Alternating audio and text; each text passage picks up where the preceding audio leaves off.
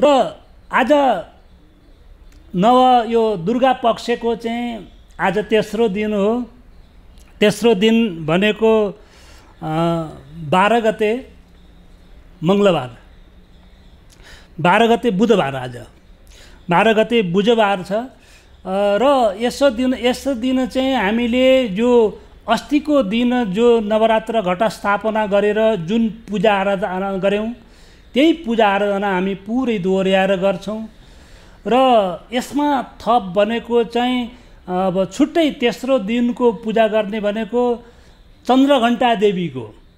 पहिलो दिन हामीले शैलपुत्रीको पूजा गऱ्यौँ दोस्रो दिन चाहिँ हामीले ब्रह्मचारिणीको पूजा गऱ्यौँ। तेस्रै तेस्रो दिन आज चन्द्रघण्टा देवीको पूजा आराधना गर्छौँ। दियो कलश गणेशको चाहिँ पूजा गरिसक्ने पहिले बत्तीको आह्वान गर्ने चढाउने चिजहरू चढाउने त्यहाँबाट गणेशको पूजा आराधना गर्ने कलशको पूजा आराधना गर्ने देवी कलशमा आह्वान गर्ने देवी देवताहरूको चाहिँ त्यो दोहोऱ्याएर चाहिँ बिहान सबै त्यो पूजा आराधना गर्ने।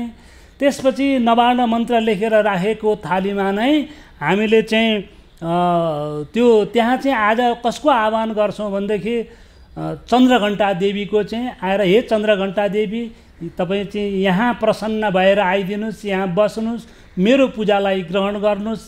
भनेर चन् भो चन्द्रघण्टा यगच्छ यतिष्ठ म पूजां गृहाण यावत् पूजां करोमि तावत्तम सुस्थिरो भव सुप्रसन्नो भव वरदो भव। भनेर चाहिँ आउनुहोस् बस्नुहोस् मेरो पूजालाई ग्रहण गर्नुहोस्। मलाई शान्ति दिनुहोस् मलाई सुख दिनुहोस् मेरो हरेक विघ्न बाधा हटाइदिनुहोस् मलाई हरेक काममा सहयोग गरिदिनुहोस् भनेर प्रार्थना गर्ने हो। हामीले मन्त्रद्वारा भन्न सकेनौँ भनेदेखि हामीले भावनाद्वारा वचनद्वारा पनि आफूले बुझ्ने प्रयोग गरेर पनि चाहिँ हामीले व्यक्त गर्न सक्छौँ।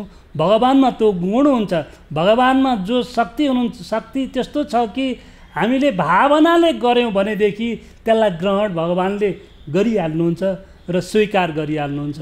त्यसो हुनाले हामीले भावनाले गर्ने हो र दो सबै पूजा गरिसकेपछि चन्द्रघण्टाको पूजा गरिसकेपछि र आज धुप बत्तीहरू सबै नैवेद्य सबै गरिसकिसकेपछि अब सक्नेले चाहिँ देवी भागवत अथवा दसैँमा प्रयोग गर्ने भनेको चण्डीकै प्रयोग हुन्छ।